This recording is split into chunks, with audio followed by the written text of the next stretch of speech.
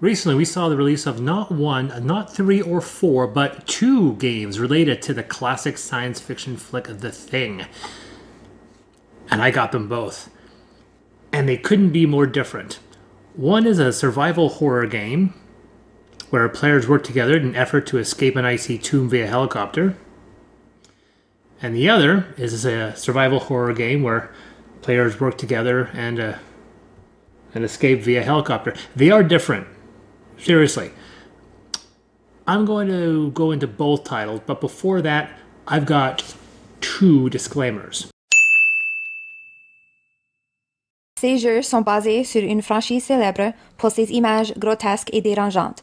Les deux derniers films ont repoussé les limites de la note R. Ainsi, certains des éléments contenus dans cette rétrospective peuvent être dérangeants pour certains téléspectateurs. La discrétion est conseillée.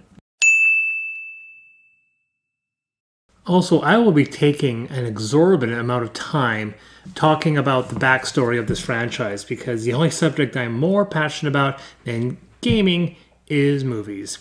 If you want to skip the preamble, advance the video by about, oh, that much. To start, let's set the Wayback Machine to 1938 to introduce famous science fiction author and pseudoscientific quack solver John W. Campbell. And you probably don't know who that is, because that is an image of Arthur C. Clarke. That's Asimov. That's Laurence Olivier. Try a little harder. I said he was a quack, not a literal duck. You're not even trying. He's the one grasping a cigarette holder trying to look like an actor from the 1950s. There you go. Outside of being the editor of one of the most famous short story magazines of the last century, Campbell dove occasionally into writing fiction himself, with arguably the pinnacle being the novella Who Goes There, conveniently having recently entered public domain. It told the story of an American research station in Antarctica surviving an alien menace they inadvertently release. In 1951, RKO Pictures released a very loose adaptation calling it The Thing from Another World, the titular creature having been referred to as such in the original novella. It's a serviceable film from the time, though not particularly faithful, having replaced paranoia filled horror with a lumbering Frankenstein esque plant monster. They kill it via a combination of fire and electricity. Novel.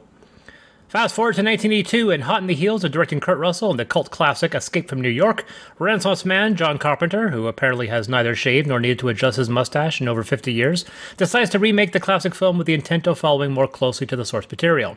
The film kicks off what would later be known as Carpenter's Apocalypse Trilogy, a group of underappreciated horror films including In the Mouth of Madness and a personal favorite, Prince of Darkness.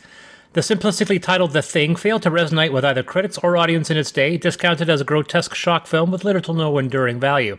It is now considered one of the seminal works of science fiction since its release. I guess people were too enamored with E.T. the Extraterrestrial, which, I kid you not, was released only two weeks prior. The franchise remained somewhat in limbo for many years until Dark Horse released an unofficial sequel, several in fact, most of which were less than stellar, but kicked off with an amazing two issue series with seriously amazing art. Oh, and by the way, this is not a clip pulled from YouTube. This is actually from my personal collection. Jumping ahead to 2002, Computer Artworks and Vivendi Universal released The Thing for consoles and PC, a traditional third-person shooter with a novel infection mechanic where any acquired NPC may turn into a monster via exposure to the various threats in the game. There were mechanical issues, but overall it was good, once you ignore the fact that anyone and everyone in the game could turn into a thing, except you. Finally, in 2011, a prequel film was released, but the less we speak of that, the better. 2017, and not one but two board games based on the original theme are announced. The first came from Mondo, yes, the t shirt company. Infection at Outpost 31, and the only game to have secured the rights to use the original title. However, after the initial announcement, little emerged from this title other than a screenshot of its game board. Several weeks later, optimistic startup Certifiable Studios announced their Kickstarter for Who Goes There, taking its name and inspiration directly from the original story. As Carpenter's film was more faithful to the original story, these games can run concurrently without risk of infringement, despite numerous similarities between the two. And I mean numerous. In the end, The Thing Infection at Outpost 31 came out first in 2017, with Who Goes There finally releasing in the summer the following year. Set in Antarctica, except for the 50s film, which was set in Alaska, a research big stumbles across an alien vessel buried in the ice, having crash landed there over 100,000 years prior. The vessel is excavated, in several versions is accidentally destroyed, but what is more interesting is the apparent frozen crew member having survived to escape the vessel, only to freeze outside. A block of ice containing the specimen is expertly carved and carted back to the station for analysis. Turns out ice melts when warmed up. The creature awakens and wackiness ensues. To properly explain the details of the titular monster, I'll hand it off to the great Wilford Brimley. I'm Wilford Brimley, and I'd like to talk to you for a few minutes about diabetes. Nope, not that clip, the other one. See, what we're talking about here is an organism that imitates other life forms, and it imitates them perfectly.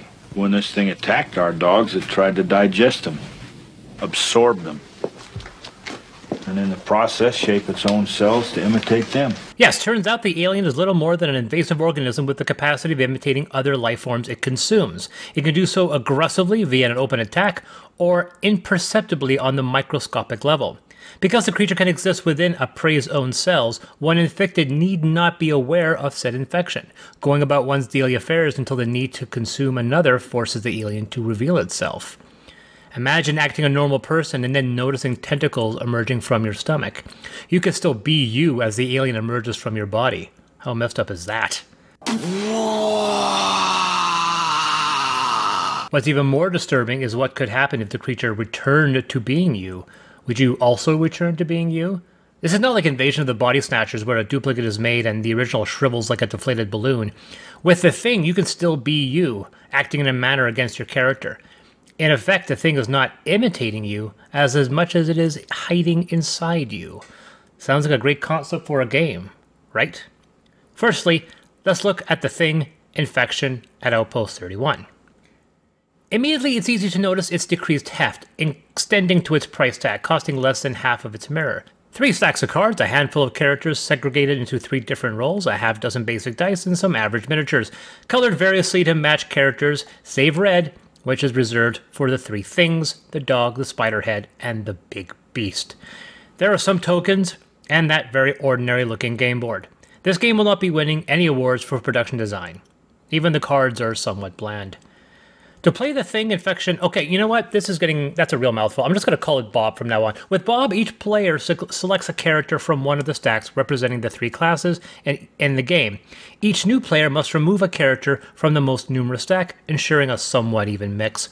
Each player then draws five supply cards. The rest go on the board, shuffle the mission cards, removing those that don't apply to your player count, place those on the board. Then shuffle the room chips for each sector and scatter them across the rooms. Some have items, but some also have things the group must attack as well. If an item, you can retrieve said item, but place the item chip in the requirement board. Satisfy both items and open the next sector. The point of the game is to clear out the three sectors to summon the helicopter and escape, though some players are not whom they seem. Shuffle the blood sample cards and distribute one to each player. Guaranteed, one player will be infected. Form the rest of the blood samples from mostly human cards but containing at least one or two infected cards based on player count. Place these on the board. Set aside the double sided infection card on the facing based on player count. Place the Apple IIe computer on its starting space. Randomly assign the first player marker, which is a gun. Because who needs to be paranoid when you have a gun? Gameplay begins with the first player drawing a mission. If an event, activate it, discard, and draw another mission card. Events can be smoke, which can lead to fire and potentially destroy a room, or power outages. When revealed, roll a die to place the matching indicator in the matching room of the highest unlocked sector. Fire can result in a destroyed room with too many rooms potentially ending the game. If a mission, the first player also knows the captain, follows the guide to select a team. There is a number of players the captain must take along following requirements for departments listed on the mission. The captain selects a room with a chip within an unlocked sector, then moves the selected players there. Each player then selects one supply card face down and unrevealed. The captain shuffles the pool, then looks. If one or more sabotage cards, they are immediately carried out. Afterward, the captain may swap a, uh, a supply card with one drawn from the pile. The cards are shuffled, then revealed in whichever order dictated by the mission. If a roll is required, the dice value of the pool is totaled. The captain rolls a maximum of six, then compares the result. Captains also all possess unique abilities found on their character board that can affect the mission. If successful, reveal the room chip. If gear, the captain takes the item card and if it fulfills an objective, place the chip on the objective tracker. Rope can temporarily tie up a player for a turn. Dynamite can adjust a die value by one up or down. A flamethrower can be used to force a blood test on another player, add rerolls to a mission, or outright torch a character, thus eliminating a player from the game. Accusing someone as being an imitation ends with each player setting the standard Siskel and Ebert sideways thumb, rotating to the yes or no designation. Yes majority, the player reveals his or her blood test and is removed from the game. A no, and the flamethrower is expended without any effect. By the way, torching a human would be bad. If the chip reveals a discard directive, each member of the team may discard one supply card and replace it. And finally, if a thing, the players must fight it. Place the appropriate thing model in the room based on the phase. All players on the mission must hand in a card to the pool, just the same as a mission. But with these, it's a number of dice that matter. Sabotage cards are still revealed and dealt with immediately. The captain may still swap one card. The captain rolls up to six dice based on the total value on the cards. The captain must roll three of a kind or four of a kind to defeat the thing. The infection tracker displays these requirements, with rerolls available based on the phase of the game. If defeated, the model and the chip are removed. If not, the model is still removed, but the chip is shuffled with the rest and distributed across the sector again. So, that model of the thing? Turns out it doesn't do much. Regardless of how the mission ends, the players are returned to the rec room. A failure advances the Apple IIe up the infection tracker. If a fourth room is destroyed or the apple reaches the end, the humans have lost the game. The infected have won. The game also ends with the players attempting to board the helicopter. The final captain is selected by the captain that succeeded with the previous mission. A vote of confidence is made if confident the final captain is chosen. If not, play passes to the next captain who nominates another potential candidate. If two captains are rejected, the apple advances. I wonder what's playing on that apple. Your move, king to rook 1. My move, rook to knight 6. Checkmate. Checkmate. The selected captain gets to board and must select who else escapes, depending on how far the tracker has moved. The final captain may have access to additional blood tests. The final captain then selects players that then reveal their blood sample card to all players. This is a necessary mechanic to offset players that are not sabotaging missions in hopes of averting suspicion. There is a minimum number of players that must be chosen. Once players are selected, the blood samples are revealed. If the players on the chopper are all human, the humans have won, the only victory condition. Any other situation, including infection, destroyed rooms, or stowing an infected on board, and the game is lost. The things win. Obviously, this means that the game would appear skewed for the humans to fail, and you'd be right. If all this resonates somewhat, a tingle of familiarity, you'd be correct, as Bob shares mechanics with two other well known games in the market Dead of Winter and Resistance and one would think the two would mix brilliantly together. And it should. Except Mondo apparently believes by mixing it, it means sewing together two creatures, like when Bart made the pigeon rat. It could have worked, but two mechanical flaws pop up, one based on player count. You see, Bob lists himself as, as 4 to 8 players.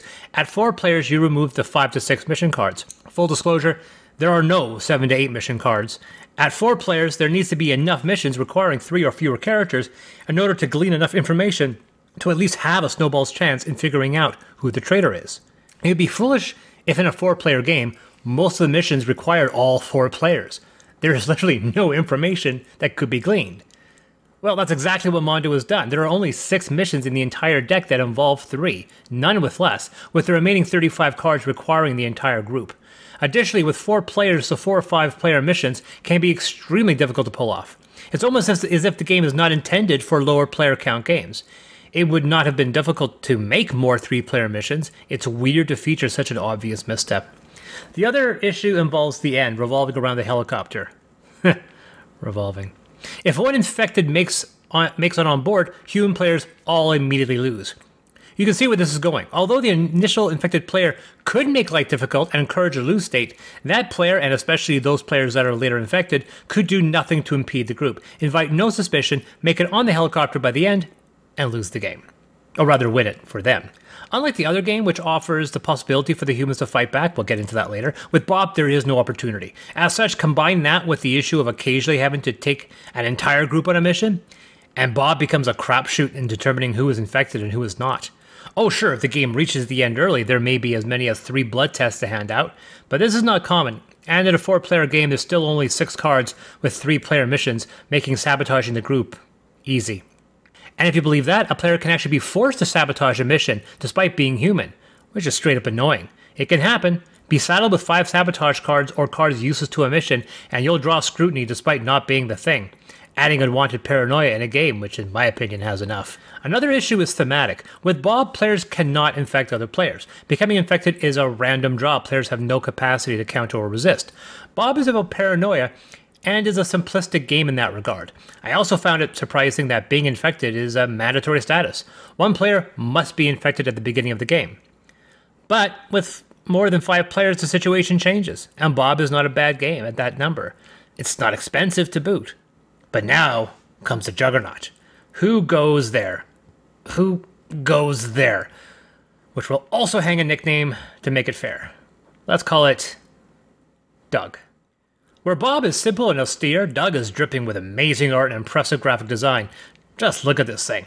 I'll refute complaints about the box size. I love this thing. My fiance and I adore huge unboxings, and this one took us 30 minutes to repackage after the initial opening. We loved it. Full disclosure, this is the Total Infection Edition resulting from the Kickstarter, not the base retail version. I did back this game, my personal copy. Obviously, one could accuse me for favoring this game to offering charity and being critical to its competition. And there could be some fire to that smoke. I wanted this game to be better. But sorry to spoil the ending, it's not. It could be. I mean, the game looks better. There's no contesting that, despite Doug looking somewhat cartoonish, despite the amount of additional materials. Doug is not a difficult game to set up, just as long as you box the game correctly. Lay the two boards inside and outside next to each other, shuffle the workshop and storage decks, yes, they're that big, and place them in their spots. Do the same with the phase 1, 2, and 3 decks and place them outside. Each player selects a character, places all but one stamina cube across the board, put the last in its upgrade spot. Gain 5 action dice matching a character's color, place the last on its upgrade slot. Place the bonus locker die in its slot. If you packed your game correctly, these upgrade spots on the board should already be covered. Each player also gains their own personalized deck based on their character. Lay out the skill dice, shuffle the vulnerable cards, place the oddly shaped but awesome looking final die on the helicopter section, place the experience crystals nearby, place the event board, shuffle the corresponding deck, and place it in the draw pile. Each player draws one card from each of the decks inside as well as from their personal deck. They can then select one location to place their character. Place the item rack nearby. The first player is denoted by a rank found on the character's card. Then, sit back, relax, because this game is going to take you three hours. I'm not kidding. This is a long game. There is only one mission with Doug Survive. It's a resource management worker placement game, one employing the thematic infection mechanic related to the franchise. It manifests with vulnerable cards and infection clickers. And these are cool. Click one direction to reveal yourself as human, click the other way to reveal your infection. The initial infection, unlike Bob, is not automatic, it occurs organically through the game. There are 11 blank cards and one with a rather dramatic blood smear. Gain that one, and you become the infected. Unlike Bob, this is it. The only infected. Is now up to that player to infect the others. But for some reason, you don't want to infect everyone. Which honestly makes no sense. Regardless, gaining vulnerable cards could be considered inevitable, though I am curious if it can be avoided. Technically, yes, I just never heard of it happening. On a player's turn, advance the phase marker. If you move on to an eat round, at one point during that round, you must discard a canned food or draw one vulnerable card. If reaching a sleep round, bunk with someone without a vulnerable card, sleep alone, draw a vulnerable card. Bunk with someone already with a card, and you, and you two must share your infection status via clickers. Set the clicker, share the results privately, reset, and then return them. If you see an infected result, you're infected as well. If a player is outside the beginning of a round, they suffer a stamina drop depending on the phase of the game 1, 2, or 3. Players reset their action tokens, and if they have it, their locker die. The current player flips over an event. Instant events occur, brace yourselves, instantly. The rest are broken up into red attack or blue setback cards. At any point during a player's turn, he or she must make a check with action dice. Players gain action dice based on stamina and gear, with modifiers for either red or blue. Roll that number of dice and hope for a number of successes based on the phase the players are in 1, 2, or 3. Considering you only get at max 2 dice from stamina, one must acquire and upgrade equipment and do so before it's too late. Oh, yes, this is that type of game. You roll the skill dice with several other situations as well. Players each then play out their turn, spending actions, moving on to the next player when empty. Character boards are amazing. These this needs to be said. Everything slots in, into their place, they're color coded, and the available actions are listed on each card. One action is required to move one's character to any other location. Spend two actions to draw the top card from the deck corresponding to the location that character is at, or from your personal deck if you're inside. Build an item if possessing the required components for one action. Receive one card from another player for one action if you're on the same location. And if that player has a vulnerable card, one must show the other his or her infection clicker, though you can roll a single skill die to resist this, spending additional actions on rerolls. If inside, roll a single skill die and gain 1 stamina on a success. If outside, do the same to gain 1 XP. Spend 2 actions to remove 1 strike from the boiler if inside, or from the door if outside. Spend 1 action but roll a single skill die, removing the strike on a success. Players could also gain strikes, by the way. Gain 3 and your character is killed, removed from the game. Players that suspect other players can also spend 5 actions to attack that player. Roll skill dice equal to an attack. Every success inflicts a strike, potentially killing the target. Yeah, if that sounds dumb, don't worry, we'll get back to that. Healing strikes can only be accomplished by playing a first aid card, and these are not as common as you might think. Each time you fail an event, you can suffer a strike. If the boiler room blows, each player inside suffers a strike. If the vulnerable deck is empty and you are required to remove one, you also receive a strike. And let me repeat that if a character receives three strikes, that character is killed and that player is eliminated from the game. A three hour game. Don't think it's common? I have seen two characters killed halfway in Phase 2 in two different games. By the way, if you are revealed to be infected, you can enact a similar attack to attempt to infect other players. The various decks can include gear, building materials, the latter of which can be used to build gear. Each player receives a handy player aid, and there are lots of items like Feast for Odin Caverna level of options here. Not only that, but once you possess an item, often it can be used to create better items. In this weird ice world of 1982 Antarctica, the scientists and engineers can literally turn a knife into a hatchet into an axe. They can turn a scarf into a coat and do so in remarkably short time. Equipment not desired, or if if a hand runs over five cards by the end of a turn, a player can dispose of cards in the bonfire, throw down a match or lighter, and the fire erupts if it has at least 5 cards, returning stamina to the group. However, this all occurs inside the facility. Outside is the only way to actually win the game. Drawing cards from the decks out here is where one can locate the needed helicopter bonus cards. You can also gain gear or suffer an attack from the thing, making an attack check to resist. Gain the helicopter cards, set them aside for the end of the game. Doing actions outside also nets a character experience. Seriously, this game has a fantasy dungeon delving level of player growth. 2 XP each time drawing a card, more so depending on what's on the card. This XP can be spent for free in a variety of ways. Gain an extra stamina, gain an action cube, or even this cool locker die, which offers an additional special ability, which when used is rolled and returned back to be used again next turn. These are unique for each character, as are the boards themselves. Gary has a gun, Clark has a dog, and these are all reflected in each of their personal decks. Copper's personal deck has more medkits, Kinner has more food. The boards even list what their decks are comprised of. This is an insane level of customization and variety. You can also unlock more inventory slots, and when all of that is cleared, you can gain additional helicopter points by dropping XP in the overstock. Did I mention Clark has a dog, and you even place his miniature in the dog receptacle? Which sounds somewhat inappropriate wording it that way. Finally, after an inordinate number of rounds, players can, potentially, finally reach the helicopter round. This is the only time that creepy die is utilized. The team leader, determined at the beginning of the game, is the first to board the helicopter. How the players choose to play is up to them.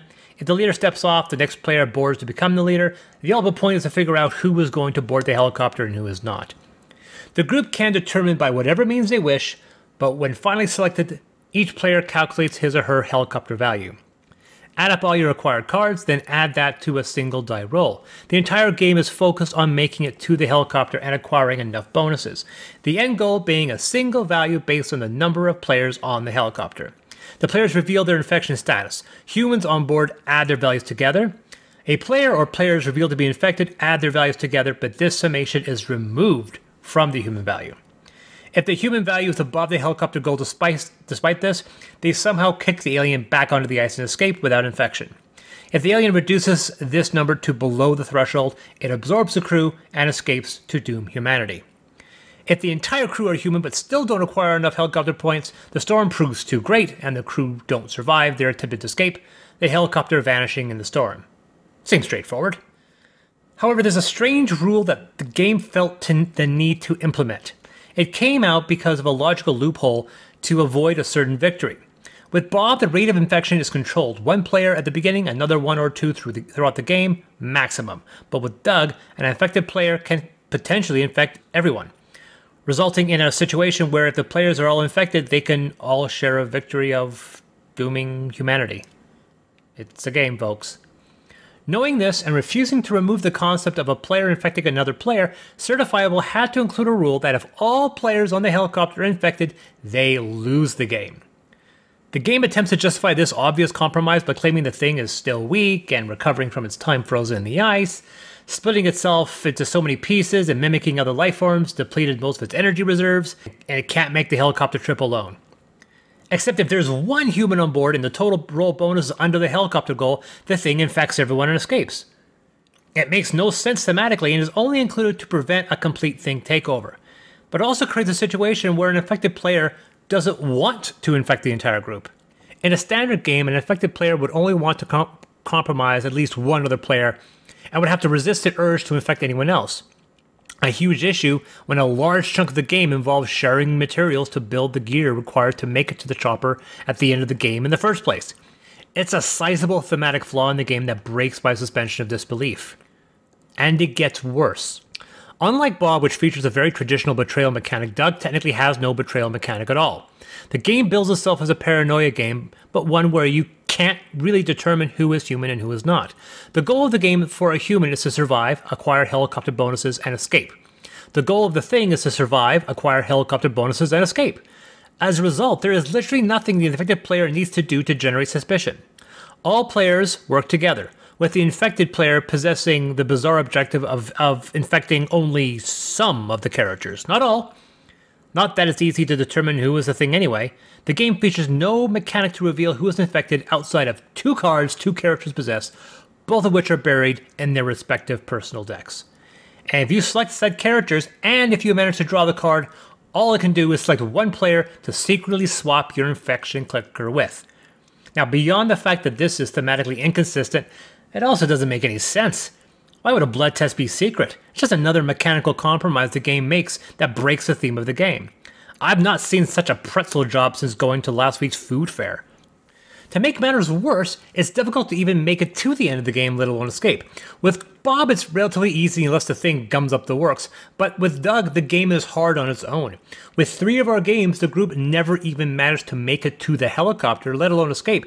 And in another situation, a player was killed off halfway through phase two, and the group opted to quit rather than force a player to sit out the rest of the game, bringing us to the single biggest mistake Doug makes. I will state upon a soapbox for all to hear that the single worst game mechanic in tabletop is not roll a move, not skip a turn, but player elimination. Specifically, where the game continues after a player is removed. I don't mind if a where a game's fail state is the elimination of a single player. Many cooperative games feature that. But a game which can potentially force a player to sit out part of a game is a game I don't really want to play. It's a bad mechanic, especially in a game like this that can run as long as three or more hours. I won't dance around the point. This game is unplayable in its current state thanks to an annoying and inconsistent endgame mechanic and the fact it possesses player elimination. It is such a misstep in game design on Certifiable's part, I am seriously concerned about their second game Stuffed, which I also backed on Kickstarter. Don't get me wrong, Bob also features player elimination, but that game barely runs 90 minutes, and the only mechanic to eliminate a player, the flamethrower, only appears in the last phase of the game. Of course, it still exists, and an unskilled player could reveal himself as the thing early and be locked out of missions and potentially most of the game. But that's due to player skill or lack thereof. You can be eliminated from Doug without any input from you and have that occur early in the game.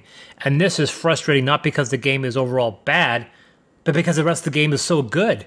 The beginning rounds are enjoyable in comparison. Making gear, surviving encounters, it starts off so well, but then players start banging their heads against another issue Doug suffers from overt randomness, a complaint I have levied with other games. I find Pandemic difficult as much of a game is determined with the shuffling of two decks. With Bob, layout randomness is welcome.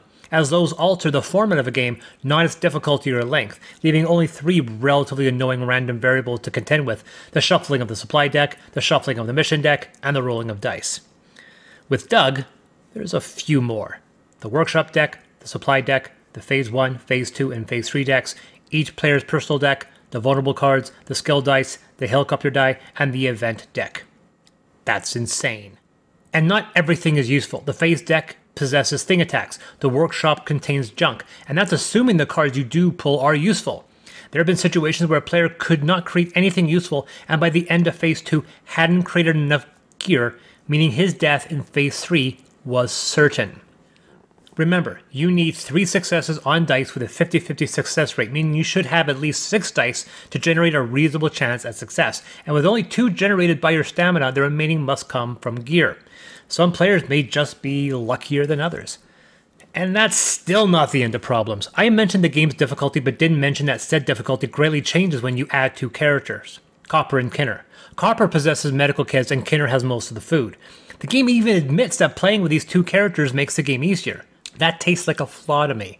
My fiance wanted to play the dog handler, another friend wanted to play MacReady, mean, meaning I and another player were forced to play the two characters that made surviving to the end of the game possible. And I want to stress possible. We've only managed to make it to the end of the game using these two characters. When trying any other combination, we have not made it to the end. There was so much going for this game. I loved diving into these decks and building items. I loved the early rounds, fighting off the thing and surviving random events. It's ironic that a game's worst mechanic, a game about paranoia and alien infection, is the one focused on paranoia and alien infection. The art style, despite being a little cartoonish, is incredible, and the production value, top to bottom, is some of the best I have seen. Every element appears polished. This is a great looking game, compared to Bob, which does honestly look a little cheap. Of course, as stated, Doug is more than twice the price. After all of this, both Bob and Doug both suffer from faults involving the implementation of their theme. Bob is the closest to getting it right, but the basic game is unoriginal and bland, and if you were to remove the betrayal and paranoia mechanic, what you have left is humdrum derivative. It's a bargain title. Doug, on the other hand, is a much more enjoyable game, one where if you remove that same betrayal paranoia mechanic, you could still have a good game. In conclusion, neither game is perfect, and without homebrew rules, Doug is unforgivably flawed. Bob may win this round, though only provisionally. If looking for a game based on paranoia, you might want to give it both a pass. Now, let's throw all that negativity aside and homebrew these titles because when you do so, something magical could happen. The more rules you use, the more that can be homebrewed, and that's what I think. As such, there's a lot more that can be done with Doug than with Bob. Since Bob and Doug feature identical themes and similar mechanics, it would be an interesting idea to share some rules between the two and see if these work as alternative forms of play. With Bob, employing part of Doug's infection mechanic would be a, an interesting concept. Combine the starting infection cards with the draw deck to form one deck. Players do not draw any at the beginning of the game. During play, if a group fails a mission or fails to kill a thing when it emerges, each player draws an infection card. None are replaced, they just accrue. If any are an infection card, you are the thing. If you have more than one card, when trading, you must offer one card to another player. You must hand over a human card unless you have more than one thing card, in which case you must hand over the thing card, infecting the other player. Likewise, I appreciate Bob's teamwork. So with Doug, if players are on the same space, when a player is forced to make a skill check, a player may add one die uh, to another player's roll, but this forces a sacrifice of one stamina. Each player can do this only once. Bob could use with a trading mechanic. At the end of a turn, a player may offer one of his or her cards in exchange for another. Players cannot show their cards, but if someone asks for a type of card, they can offer any card in their hand in exchange of one they are looking for. As for Doug, one of the more annoying mechanics is the single 50 50 die roll used at several points in the game players have no way of improving, which is odd since all the other checks in the game involve skill checks, which can be adjusted. So anytime the game asks for a single skill die roll, you can make a standard setback skill roll. Sure, it still basically gives you a 50 50 chance, but at least players possess some capacity of affecting their odds. Both games feature player elimination, but these are not hard to work out. For one, both games possess numerous characters to pull from. In Bobus, as stated, player elimination occurs late in the game, but with Doug, I'd certainly recommend the killed player replace his character with a new one. The dead character drops his gear, the new player gains said gear as well as a number of XP based on the phase the game is in. 3 if in phase 1, 6 if phase 2, and 9 if phase 3. The XP reward is required as throwing in a fresh character in round 3 will result in a nearly instant death. As elimination is no longer a thing, I made it funny. You don't have to contend with twisted and compromising rules regarding blood tests, so if a character is eliminated, his vulnerable cards are returned to the draw pile to potentially keep the infection around. But now, blood tests work. When presented with a blood test, a character must reveal his infection clicker to the entire party. Depending on whose turn it is, it might be a good idea to kill that character before it has a chance to attack everyone. Just saying. Of course, as mentioned, there are only two blood test cards in the entire game, and the odds of pulling them are slim, assuming you play with the two characters with that card. So, as another homebrew rule, I'd add that any character can discard both a match slash lighter and a medkit to force a blood test on another character. This action costs the same as an attack, 5 actions. Sorry, missed a space there. There you go. I'm not saying remove the thing completely out of the game, that's impossible. Rather, this is a parallel of the video game or major films where the main characters always thankfully avoid being killed off or infected. And it makes semantic sense as, despite the number of characters, the outpost features at least double the number of characters. In the novella, the outpost numbered over 30, and with monsters already present in the game, it shows that some have already fallen to the infection. One could assume there are silent NPCs surrounding our players throughout the game. With Bob, it doesn't leave much game left as the basic architecture is relatively dull, but like all semi co op games, there is still the possibility the game can be lost. With Doug, though, it's quite easy. The first thing to do is remove player elimination. There is the process above I just mentioned, however, a better ploy would be to not kill a character at all. Instead, when a character receives his third strike, oh yes, all the characters are men, just making sure you all knew that, those strikes are all removed and placed on the helicopter bonus section. These are now counted as penalties to the helicopter bonus come the end of the game. The character also loses 3 stamina. No player elimination, no premature fail state. If you think this makes the game easy, well, you'd be wrong, but Doug already has an inbuilt rule to adjust difficulty. The Vulnerable deck. As stated around 20 minutes ago, ugh, this review is getting long, it was stated that when the Vulnerable deck runs out, when forced to draw a card, the character is forced to take a strike instead. And thus forced to take both, in which case only one strike is taken. Thus, this deck can be used to adjust difficulty. Players no longer draw these cards for infection, instead, this deck is depleted to represent group tolerance and stash supplies. When asked to draw a vulnerable card, it's simply discarded. This continues until the deck is empty. Employing the full 12 cards is easy difficulty. Try normal with only 6 cards, and on hard difficulty, use none, taking strikes from the onset. This may come as a shock, but Doug becomes an incredibly fun game once you ignore the very mechanic you think defines it. There is still an enjoyable survival horror game to be found here. Plus, employing these rules offers the opportunity for the game to be played with two players, though I would recommend controlling two characters each. It's such an obvious solution, I'm annoyed Certifiable didn't think to include it as an optional form of play. Admittedly, these homebrew rules were meant to address Doug rather than Bob. Bob works as a game, although one that's only above average. Doug, however, kind of annoys me. It could have been so much better. Both titles feature bizarrely identical endgame mechanics, weird since no entry in the franchise features escaping in a helicopter. I'm willing to pass it off as coincidence, but it's odd both titles involve it. No hidden movement, no investigation. As such, and this is an odd conclusion, the keeper between these is still Doug. Employing homebrew rules allows it to be played with only two people, and pure co op can bring more people to the table. Bob is unplayable at four players, and it's rare I will have more than that. Doug is the preferred option, though provisionally. How messed up is that? The more broken game is the better one. This is Chris from Dias Ex Machina.